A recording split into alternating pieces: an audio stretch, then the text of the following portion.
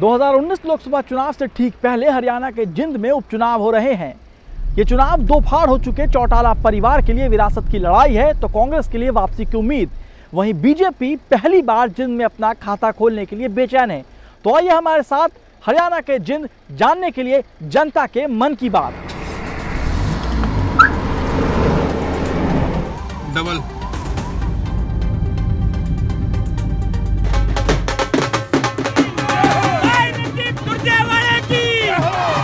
वंदे। वंदे।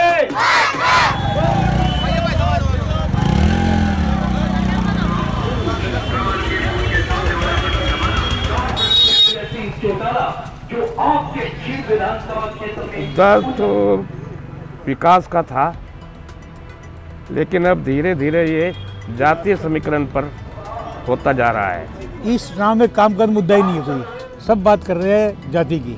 ये पंडित है ये बढ़िया है ये वो है। कोई वो करेगा मीटिंग तो अग्रवाल ही करेगा ये अग्रवाल की मीटिंग है। क्यों भाई? आपके वोटर सारे ही तो है सबको बुलाओ आप। आप कहो मैं तो सैनिक सैनिक बुलाऊँ क्यों बुलाओगे मतलब दोनों सैनिक वोट नहीं चाहिए आपको? जिताना हमने मुद्दा मादे तो मतलब नहीं है। दिग्विजय को जिताना हमने। भारत माता की। भारत माता की। वंदे। वंदे।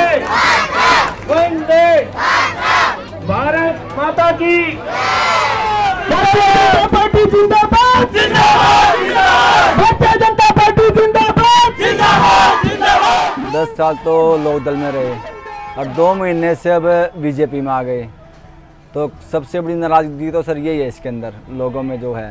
जींद में कोई भी किसी तरह का अब तक कोई विकास नहीं हुआ है चाहे रोड्स को लेकर ले लो या किसी भी किसी भी मुद्दे पर ले लो कोई विकास नहीं हो रहा है यहाँ पर।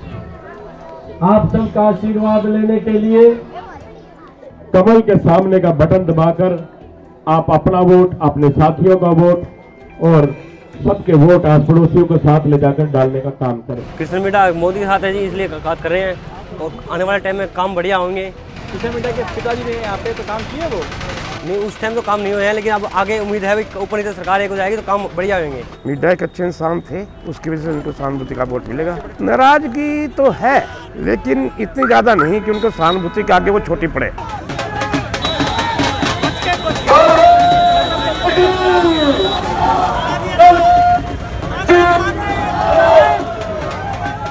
उम्मीद अभी आने वाला सीएम है। अगर कांग्रेस आम तो रणदीप का नाम पहले नंबर है। सुरजेवाला फाइट में है और चांसेस हैं।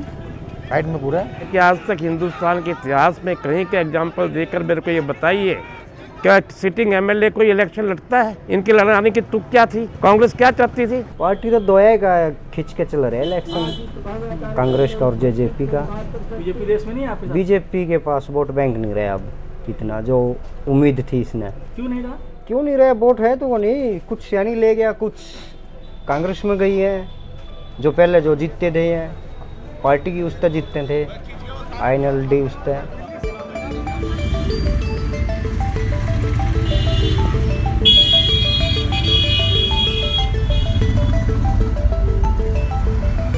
आप लोग पार्टी पार्टी की बात कर रहे हैं। एक यहाँ पर दिनवासी भी खड़े हैं जो राजकुमार सैनी की पार्टी से हैं वो भी फाइट में हैं वो खाली नहीं हैं। वो बीस हज़ार देगा पच्चीस हज़ार वोट देगा तेईस हज़ार वोट देगा वो किसकी वोट तोड़ेगा? वो जो वोट तोड़ेगा या तो किशोर मिड्डा की और या तोड़ेगा वो बीजेपी की। जो आपके जीव विधानसभा क्षेत्र में उन्नति खुशहाली और तरक्की लाने का हर प्रयास करेंगे आपकी आवाज़ को विधानसभा में बुलंद करेंगे।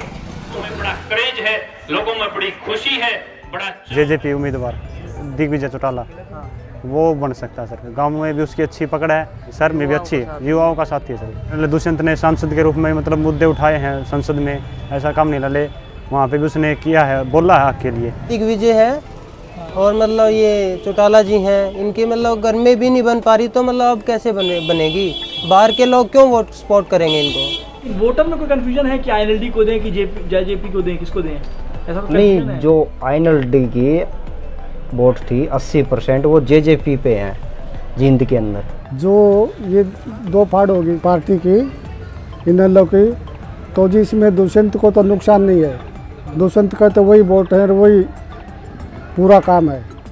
तो नुकसान तो होगा तो इसको इन लोग को होगा अच्छा चारों बराबर है अच्छा